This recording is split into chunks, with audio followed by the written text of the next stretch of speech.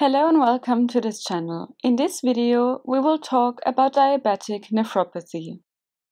What is diabetic nephropathy? Diabetic nephropathy is a serious complication of long-standing diabetes mellitus.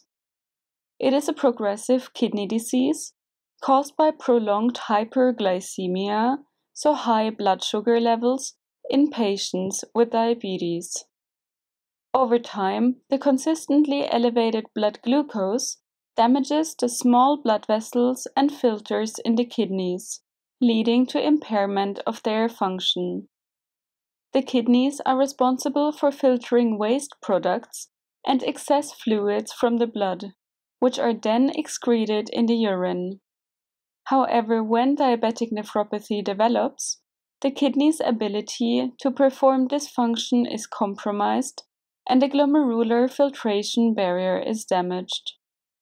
The glomerular filtration barrier is comprised of the fenestrated endothelium of the blood vessels, the glomerular basement membrane, and the podocytes. It is a specialized structure located in the renal corpuscle, which is the initial part of the nephron responsible for filtering the blood and forming urine.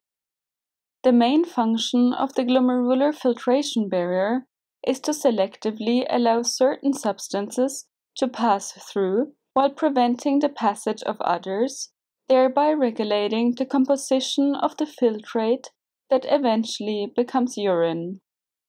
In diabetic nephropathy, these podocytes undergo changes which are visible with the electron microscope. What are risk factors for the development of diabetic nephropathy? The longer a patient has diabetes, the higher their risk of developing diabetic nephropathy. Prolonged exposure to elevated blood sugar levels can lead to kidney damage over time. Chronic hyperglycemia is a major risk factor for diabetic nephropathy. High blood glucose can directly damage the blood vessels and cells in the kidneys. Also, uncontrolled hypertension is a significant risk factor for the development and progression of diabetic nephropathy. Hypertension can further strain the already compromised kidneys and accelerate kidney damage. A family history of diabetic nephropathy or a genetic predisposition to kidney disease can increase the risk of developing this complication. Smoking can worsen kidney damage in patients with diabetes and increase the risk of developing diabetic nephropathy. Also, individuals with other diabetes related complications, such as diabetic retinopathy, may have an increased risk of diabetic nephropathy. What are symptoms of diabetic nephropathy? Initially, diabetic nephropathy might not produce noticeable symptoms, but as the disease progresses, it can lead to more severe kidney damage and ultimately to kidney failure, a condition called end stage renal disease. One of the earliest signs of diabetic nephropathy is the presence of protein in the urine, called proteinuria. Healthy kidneys filter waste products and excess substances from the blood while retaining essential proteins. When the glomerular filtration barrier is damaged, proteins, especially albumin, can leak into the urine, leading to proteinuria. As the kidney function deteriorates, the body may retain fluid, resulting in swelling in the legs, ankles, feet, and sometimes the hands and face. This swelling is known as edema and is caused by the kidney's reduced ability to remove excess fluids from the body. Kidney dysfunction can lead to anemia, a condition characterized by reduced number of red blood cells or a decrease in hemoglobin levels. Anemia can cause fatigue, weakness, and a decreased ability to perform physical activities. Some individuals with diabetic nephropathy may experience an increase in urination, so polyuria, or have to wake up frequently during the night to urinate, called nocturia. Proteinuria can cause the urine to appear foamy or frothy due to the presence of excess proteins. As kidney function declines, waste products can accumulate in the bloodstream, leading to a loss of appetite, nausea, and vomiting. Some patients with diabetic nephropathy may experience difficulty sleeping due to frequent urination, leg cramps, or discomfort caused by edema. How can we diagnose diabetic nephropathy? The diagnosis of diabetic nephropathy involves a combination of medical history, physical examination, and various tests to assess kidney function and detect signs of kidney damage. We usually start by taking a detailed medical history, including any history of diabetes and related complications.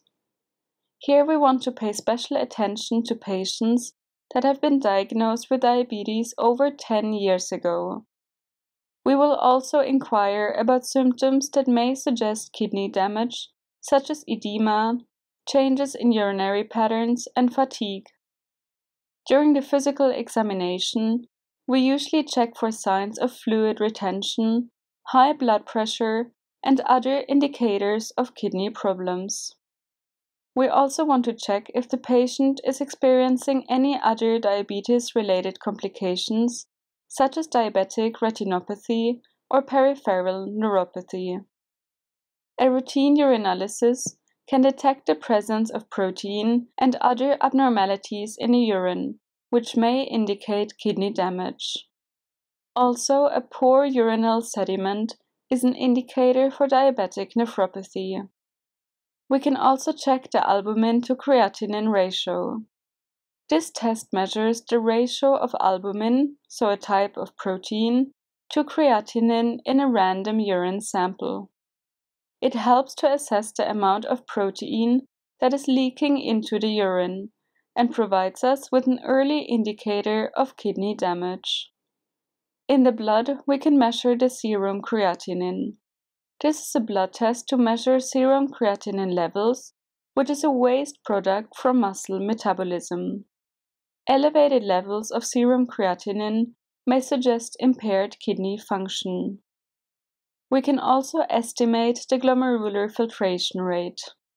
By using the serum creatinine level, the age, gender, and other factors and the EGFR is then calculated to estimate the kidney's filtering capacity. A lower EGFR indicates a reduced kidney function. We also usually obtain a sonographic image of the kidneys. Indicators for diabetic nephropathy are nephromegaly, so a larger than normal kidney, a renal parenchyma that appears thickened, with a diameter of around 2 to 2.5 centimeters and the increased echogenicity of the parenchyma. In some situations, a kidney biopsy may be recommended to obtain a small tissue sample from the kidney for a more detailed examination. This is typically done when the cause of kidney disease is uncertain or when treatment decisions are challenging. This can be the case if we, for example, suspect that a patient may have diabetic nephropathy together with another kidney disease. It is possible that a patient has, for example, diabetic nephropathy and membranous glomerulonephritis, which would have to be treated with antibiotics. Indicators for the necessity of a renal biopsy are the presence of increasing proteinuria, a diabetes diagnosis, that is not yet 10 years ago, and a lack of diabetic retinopathy, as this usually develops before the onset of diabetic nephropathy. In the light microscopy, we can see changes, such as a diffuse and uniform thickening of the glomerular basement membrane, the expansion of the matrix, and segmental glomerulonecrosis.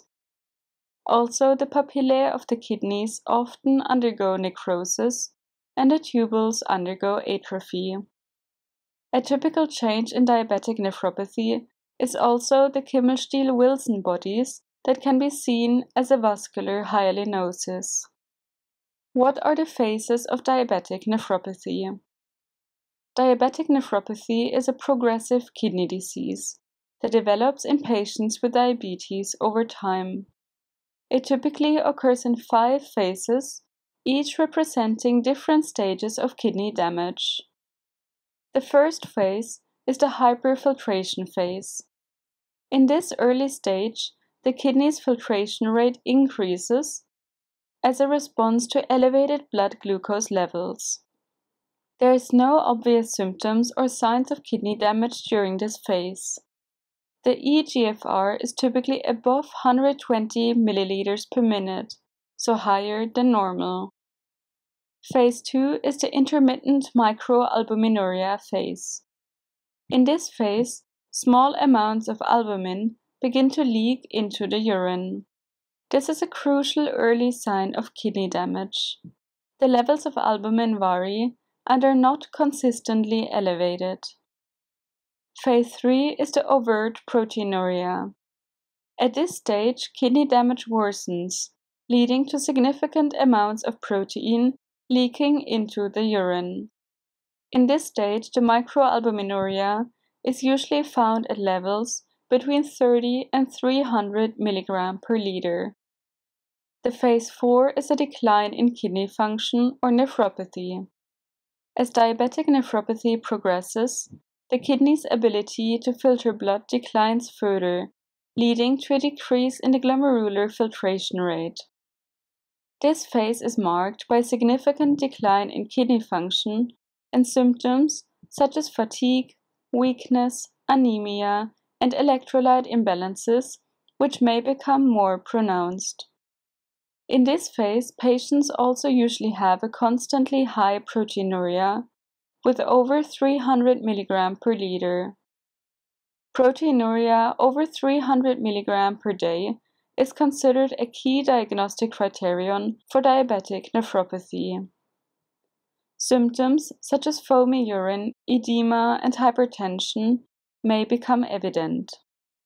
Phase 5 is end stage renal disease. The final phase of diabetic nephropathy is end stage renal disease. At this stage, the kidneys have lost almost all of their function and the patient requires renal replacement therapy, such as dialysis or kidney transplantation. How do we treat diabetic nephropathy?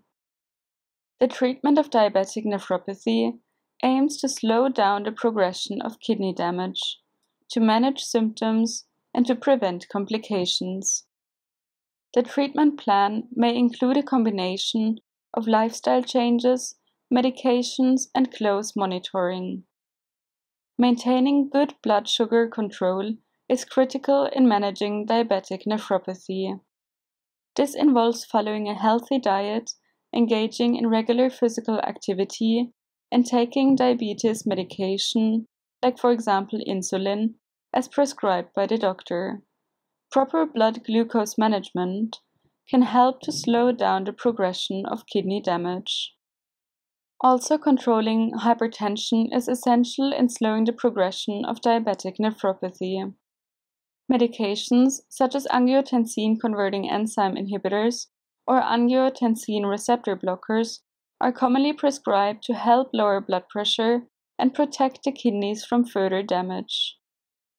Our goal is usually to lower the blood pressure to below 140 to 90 mm mercury. Reducing dietary protein intake may also be recommended to lessen the workload on the kidneys. We generally recommend to intake below 0.8 gram of protein per kilogram of body weight. The low protein diet reduces the hyperfiltration from phase 1 of diabetic nephropathy. If cholesterol levels are elevated, medication and lifestyle changes may be recommended to control cholesterol levels, which can help to protect the kidneys and cardiovascular health. That's it for this video. I hope it was helpful. Thank you for watching and hopefully see you again in the next video.